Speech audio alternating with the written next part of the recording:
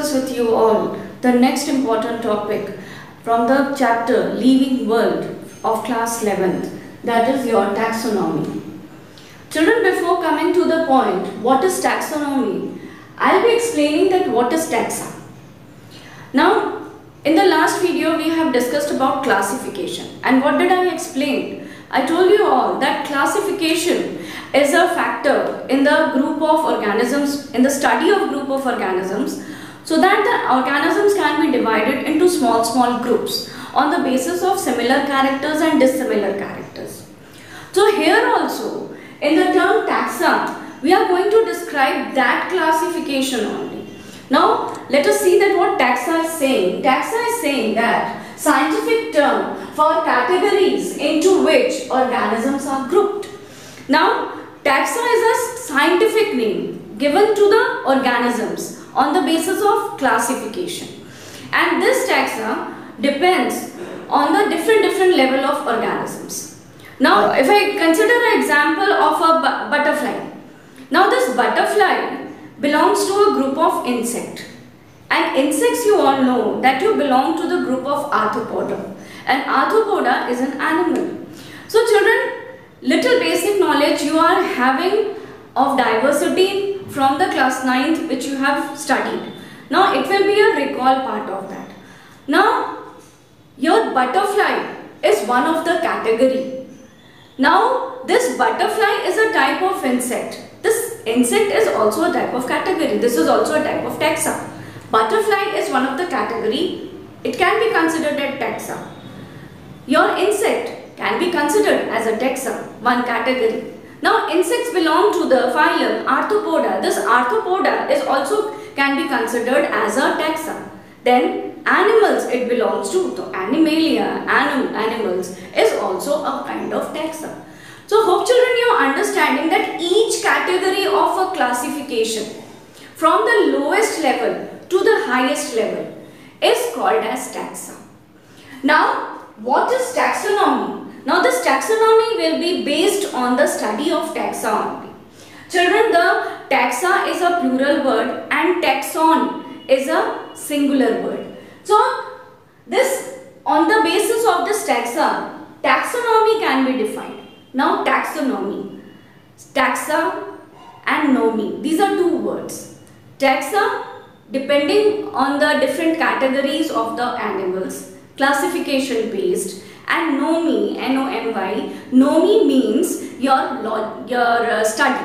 So taxonomy is a branch of science where we study about the classification system at different category level, at different groups and subgroups level. So classification of living organisms into different taxa based on their characteristics is called taxonomy. So classification of living organism into different taxa. Classification of different organisms on the basis of their taxa means that classification of living organisms on the basis of their small small categories, on the basis of their small small groups and subgroups. And I told you all that classification was the study depending upon similar characters and dissimilar characters. So the taxa is also depending on the characteristics. Which type of characteristics? Similarities and dissimilarities characteristics. So you can define that taxonomy is a branch of science where your classification of the living organisms are being studied into different taxa uh, at, uh, according to their different characteristic features present in the different level of organisms. Now children when we are discussing about taxonomy, it is very important to understand that what is systematic. Now systematic means in a particular sequence manner. Now the study of classification cannot be done haphazardly. We have discussed this before also.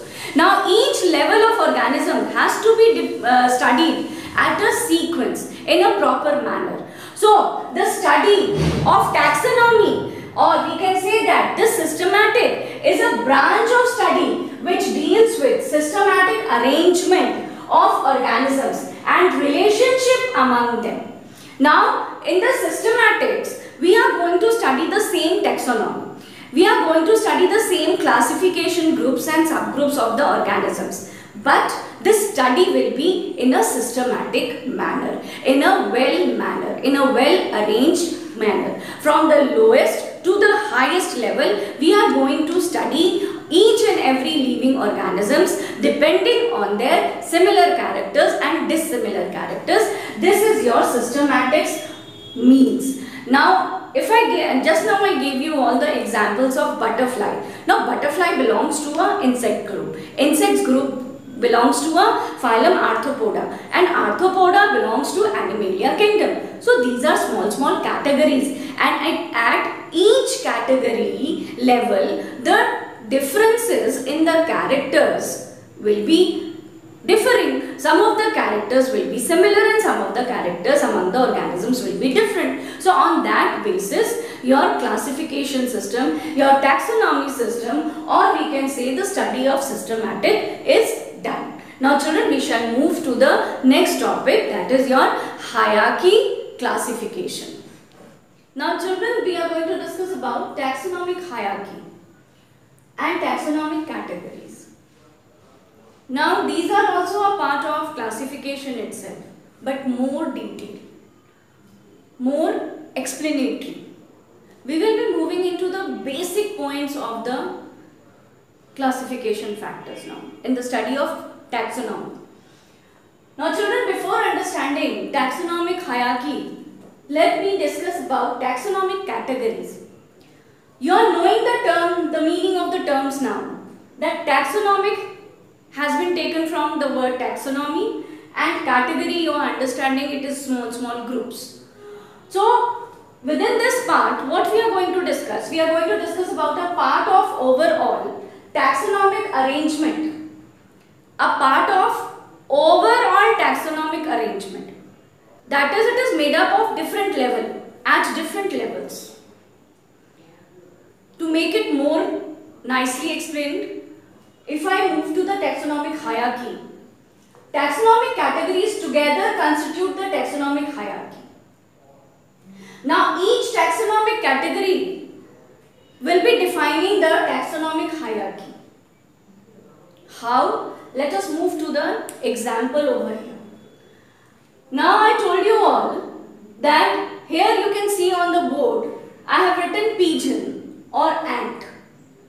Then the pigeon has been given kept into the group of birds and the ant has been kept into the group of insects. Birds are aves and insects belong to the arthropoda phylum. Aves as well as arthropoda, they all belong to the animalia kingdom. These are all different different groups in which your these two animals have been divided, have been kept. I told you that all single character, all single group is considered as taxa or taxon. This is a taxon. These are different taxa.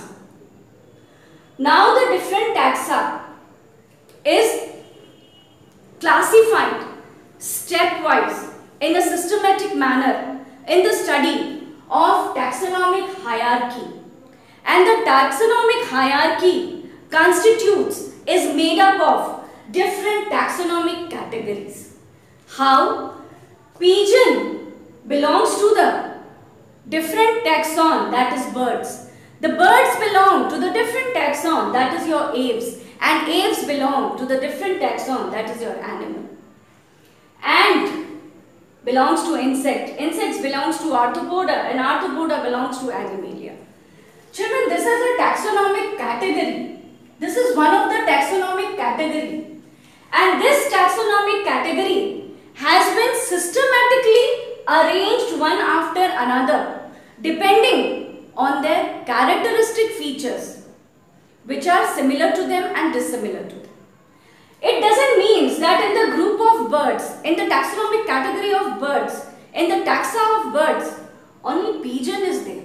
There are lot and lot numbers of birds like your sparrow, crow, different different birds are there. So it is not that that bird is only one, but the characteristics similar to the birds when we are classifying. So on that, depending on that, we are keeping the pigeon into the taxonomic category birds. Now birds are kept in the taxonomic category aves and aves are kept in the animals. So animals. Now children you can see that they are classified into different different levels into different different taxonomic categories where your pigeon is the smallest level is the smallest taxonomic category and your animal is the highest taxonomic category because in the group of animal in the taxon of animal, only pigeon is not there or we cannot say that only birds are there. Arthropodans are there. Your uh, different different groups of animals, your uh, uh, lion, tiger, elephant, deer, cow, cat, dogs, wolves, goats. There are various and various types of animals. So we cannot keep all the animals in the same group. So the diversions of animals are more. So at the highest level, we keep the animals. Then when we move to the highest level, the differences will be more. And when we move to the smallest level, the similarities will be more. In the group of animals, there will be more complexity. Large number of animals will be there. But when we move to the definite organism, definite individual, pigeon or ant, then we are individually talking about a special, a specific type of organism. So this is called as the smallest level of organism, smallest level of taxonomic category and animals is considered to be the highest level of the taxonomic category. Now children I have written here that each taxonomic category represents a unit of classification termed as rank or taxon. So each taxonomic category, each taxonomic category is considered as either as a taxon or either as a rank. So this is one of the rank. This is one of the rank, rank, rank or either we call it taxon. So children this was the basic concept to understand the hierarchy classification. So before moving to the hierarchical classification, it was necessary for us to understand that what is taxonomy uh, categories are there. So classification, taxonomic classification is based on a single unit called as taxonomic categories. And this taxonomic categories will be helping us to study your taxonomic hierarchy. Now children, if you recall the chapter diversity in living organism of class 9th, this type of representation you have seen there in the book. Now this is the representation which depicts the hierarchical classification. You can see that I have mentioned here kingdom, phylum in case of animals and division we say in case of plants. Then phylum is divided into class Class is divided into order. Order is divided into family. Family divided into genus. And genus divided into species. Children, these are various taxonomic categories. We have just discussed few minutes back. Kingdom is a different taxon. It is a different taxonomic category. Phylum in case of animals we say. Division in case of plants we say. Class, different taxonomic category. So, Similarly, all order, family, genus, species, they are all different, different types of taxonomic categories which we are going to discuss and understand in detail. Now children in this hierarchical classification, you can see that the things are going, things are moving in a systematic manner. We cannot write order in place of phylum and phylum in place of order. Every time kingdom will follow phylum, phylum will follow class, class will follow order, order will follow family, family is going to follow genus and genus is going to species. Where your species is the lowest level of taxonomic category in the hierarchical classification and kingdom belongs to the highest level in the hierarchical classification. Species, always remember, it is the basic unit of classification. Children, if you remember, we say that cell is a basic unit of life, a smallest unit of life. Similarly, in the hierarchical classification, your species is the smallest unit of classification. We always start the study of classification with the species, with a single individual organism. So, it is the lowest level taxonomic category and kingdom is the highest. Now children, as we keep on moving upward, if we move from species to genus, genus to family, family to order, order to class, class to phylum and phylum to kingdom. As we are moving upward from species to kingdom, the differences in the characters are going to increase. It means that similarities of characteristic features will be decreasing. We are moving upward, the characters are going to decrease.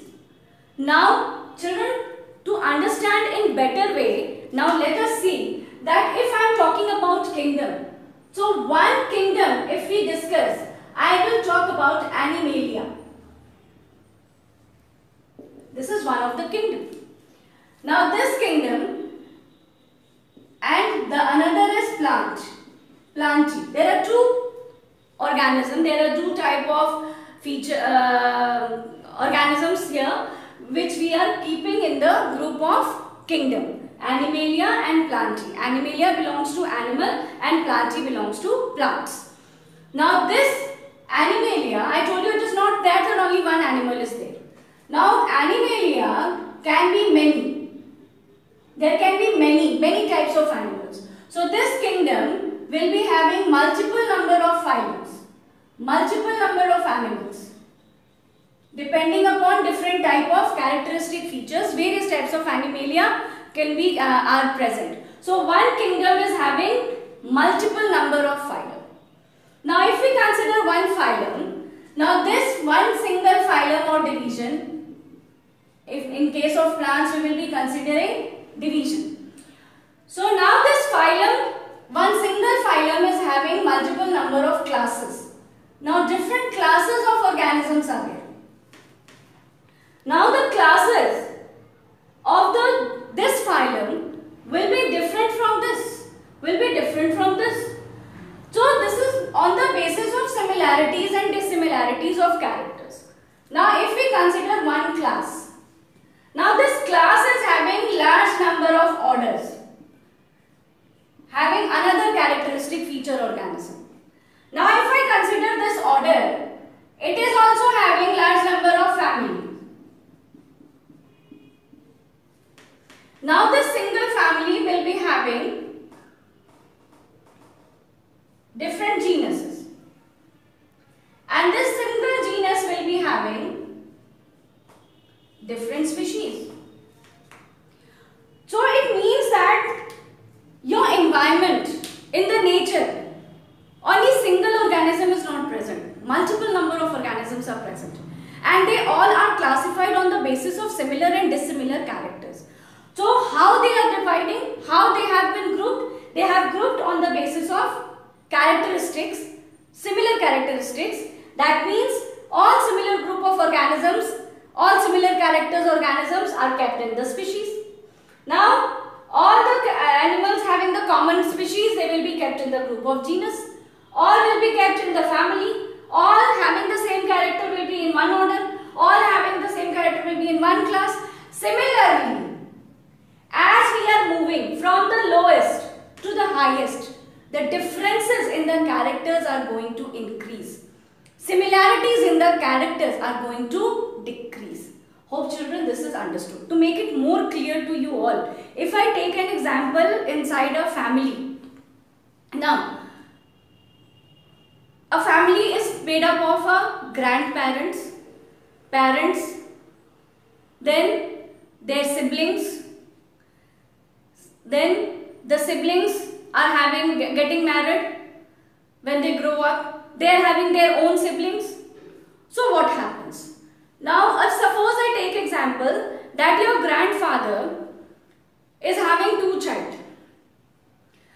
Now two of the child from your grandparents, one will be your parent and one will be your uncle. Now your father is having two children, you are two brother and sister, and your uncle is also having two two siblings. They are also they are also uh, brother and sister. Now, the similarity in the character from your grandparent to your parent and your uncle will be same character transferring. So they will be looking more similar to each other. Now the siblings of your uncle and you two both brother and sister will be different from each other. Two brother and sister from a same parent will be sharing the same character, will be similar to each other in looks and behavior. But these characters will be differing from your cousins. Why? Because they are getting different parental side and you are having different parental side. Similarly, when you will be getting married, your siblings will be there. So, two characters of genes will be integrating because the partners will be coming from the different family and different characters will be integrating and their cousins, their siblings will be having different characters. So, more closer, more similar characters. Greater the distance, more differences in the characters. This what? This classification hierarchy wants to explain that all the living organisms are classified on the basis of groups of your similarities and dissimilarities. So that the vast living world has been categorized on this basis only.